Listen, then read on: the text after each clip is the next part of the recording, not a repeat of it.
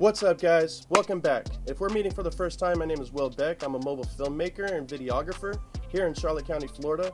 And today I want to go over the three lighting, three lighting options that you have for mobile filmmaking that's not going to break your budget and it's going to light up any scene that you could possibly ever want to do. And believe it or not, even for your mobile filmmaking studio, you can light anything, but I don't want to get too far into that just yet. What I want to do first is introduce you to the top three lighting options that you have to light up any scene that you want and so I can help you get on your way to mobile filmmaking. As we already know, lighting is one of the most important elements of videography and photography. Right? Smash like if you agree with that. Now, obviously we got audio and then you got your camera, but arguably if you can't light your scene, you can't get your full potential out of your smartphone. That's exactly what we're going to do today. Now, the first one I'm going to be talking about is the one I'm actually using right now. It's set up on my mobile rig as we speak. That's what I'm recording on with my smartphone. I've had to actually take this to a VND 5. I'm using the Polar Pro VND filter number 5. I'm out in broad daylight and I'm sitting under, I know you can't see it right now, I'm sitting under a shade canopy because personally, I don't want to have light bouncing all over the place. So that way I can look right at the camera and I'm totally fine. I have the Panel Pro right up underneath here attached. This is my favorite one to have period. Like I said, we have the Panel Pro. Now this is a CRI rating of 96 plus along with the Aputure MC. This is Samtian, Samtian. I don't know how you're saying that, Samtian. But these folks over here went ahead and shipped me one for free just to go ahead and review. If you like that little introduction that I filmed with the hologram and everything else, I actually used that, this Samtian one. Now, this has got a CRI, CRI rating of 95 plus. So, these are both 360 degree RGB adjustable lights, okay, by color. And it takes both of them, I want to say, both of these, the Aputure and the LumeCube Panel Pro, they both take about an hour and a half to charge up fully, okay, using a USB-C cord. This one, I love to use as a backup light anywhere, the Aputure MC. This is purple, and if, if you look, this is really cool too. It has a little display on the top. I'm hoping you can see that all right. And what you do is you just click this little wheel, to saturation. You can adjust the saturation, intensity, lower, higher, hue. And look at that.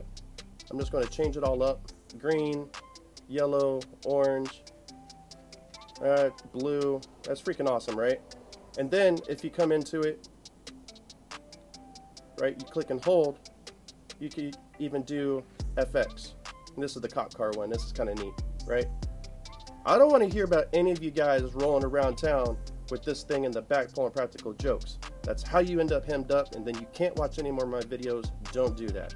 However, it is pretty cool, right? If you're lighting a cop car scene and like I don't know, I don't know if you can see it right now. I got the intensity down pretty pretty well, but at the moment it looks like I got in trouble.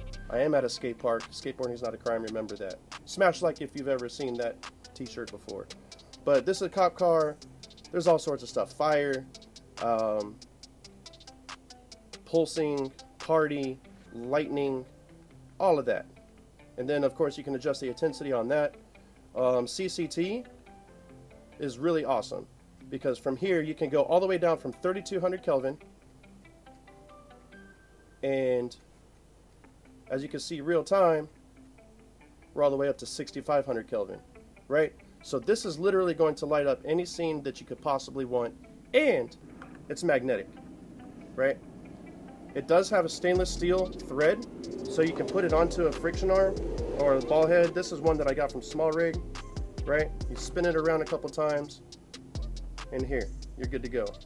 You can light up any scene that you want, right? You can't argue with that. So that's the Aputure MC. I'm gonna turn this off so I don't kill my battery. I do like the Panel Pro more, and the reason why is because of this light shaping kit. I left the honeycomb at the house, and the pouch. However, I do have the barn doors open, or yeah, the barn doors open, okay? It's on there right now so I can shape the light a little bit because I have a lot of light behind me to the side. I'm shooting at broad daylight and I just want to focus that light so we can record. Here I am banging into stuff. Now, to be completely transparent, the Samtian, I'm going to show you the back of it real quick. Here we go. There's no display screen at all. You just have a couple dials to adjust the intensity, as you can tell. There's no colors, so all you have is light and temperature, intensity and temperature.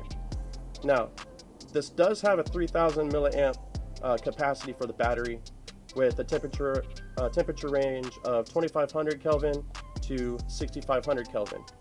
How true is that? I don't know. I don't have a light meter. But with that being said, the entire scene was lit up actually using these three lights. The rig that I have, I could easily mount this anywhere. Like I said, it's magnetic. Little small rig mount right here. I can mount this mount this thing anywhere. Just like this bad man JAMMA, right? Mount them anywhere and you you won't be disappointed. So I don't want to take up too much of your time. These are the three lights that I'm going to swear by forever. Forever. I don't see any reason to get anything else. I don't need a fancy light that completely eliminates the whole minimalist vlogging setup. I wanted to give y'all a real, real time, unedited results. The Samtian, even though they sent this to me for free to review for like an Amazon review or whatever, and I wrote them a nice one. However, what I wrote in there, I would really like to see an LED display. I want to know what color or what Kelvin, right? I want to know what Kelvin that I'm shooting at. This Panel Pro by LumeCube, this is my absolute favorite. Second runner up. This one comes with a pouch. This one comes with a pouch too. Mm, it's nice and felt and feels nice on the face. This one's more rugged and get little sticky tapes so we can like velcro it to stuff right we love that so anyways i don't want to waste any more of your time guys i really appreciate y'all coming out and checking out and supporting the channel smash like hit the subscribe button and stay tuned if you'd like me to go further in de detail on any of these right here by all means drop drop me a note in the comments and don't forget to hit the links in the description to check them out even more in fuller detail and see which one's best for you. Anyways, without further ado, love you guys.